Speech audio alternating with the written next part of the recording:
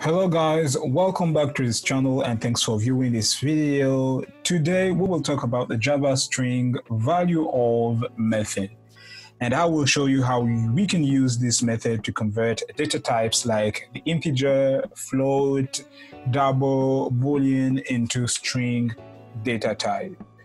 One key point to note is that this method returns a string value so now let me explain further how to use this method by giving you concrete examples.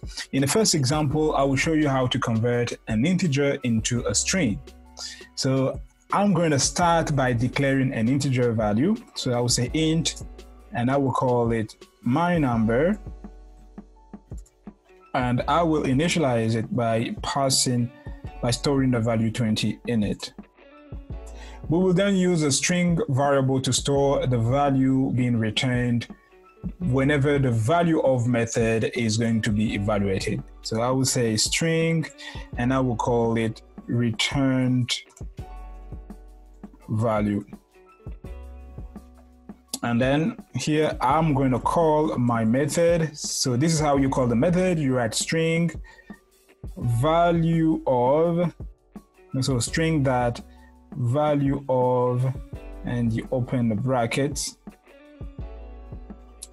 And inside the bracket you need to pass the variable that you are converting. So here i'm converting my integer variable. So i will pass my number because that's the name i gave to my integer variable.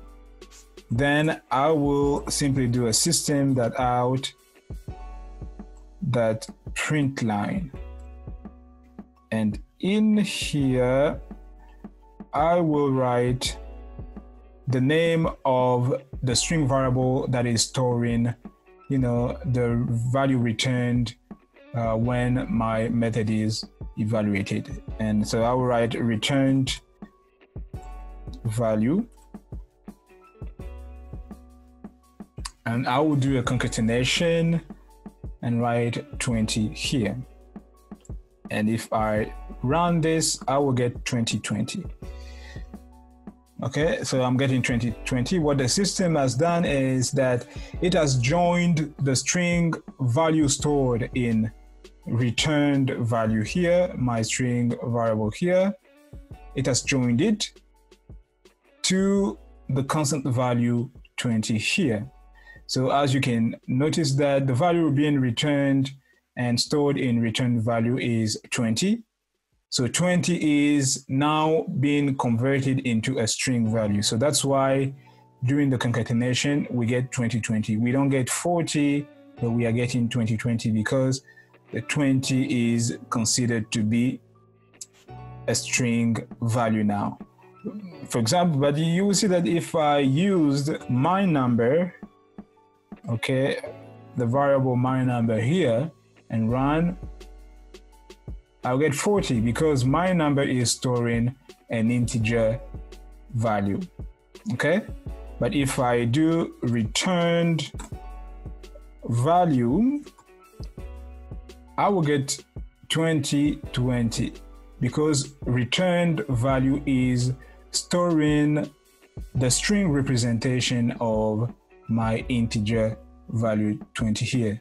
So in simple terms, this method has converted my integer value into a string and has stored it in returned value. And when I want to output it here and doing a concatenation with the value 20, I'm getting 2020 because 20 is now being considered to be a string value. So that's actually the logic behind it. So I would do a second example where I'm going to convert a decimal number into a string.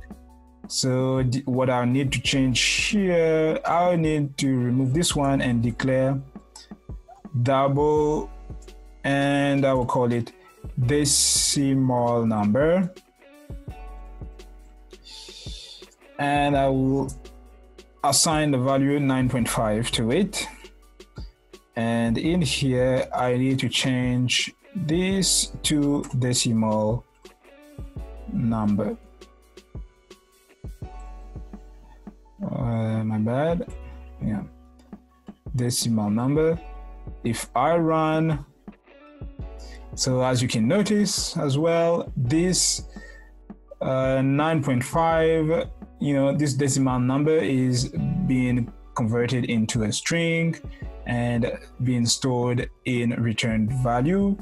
And in the system that are the print line you can see that the value being stored in return value is considered to be a string okay?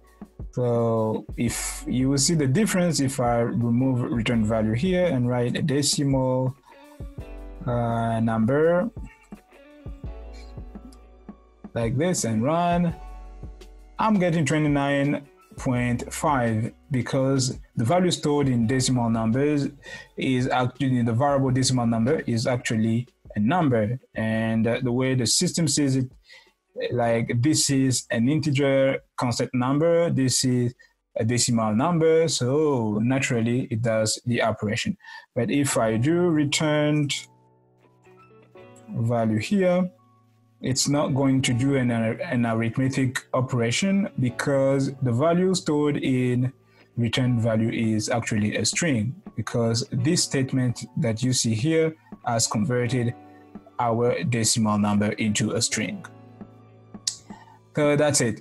Uh, let me quickly do like uh, the last example where I'm going to convert an array of characters into a string. So I will declare my array.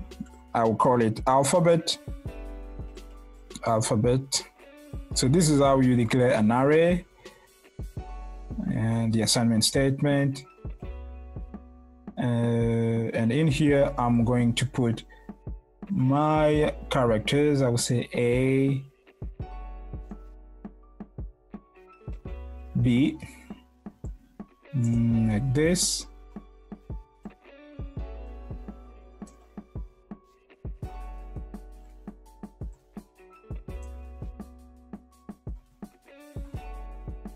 and I'll put a semicolon here so instead of writing decimal number here, I'm going to write alphabet.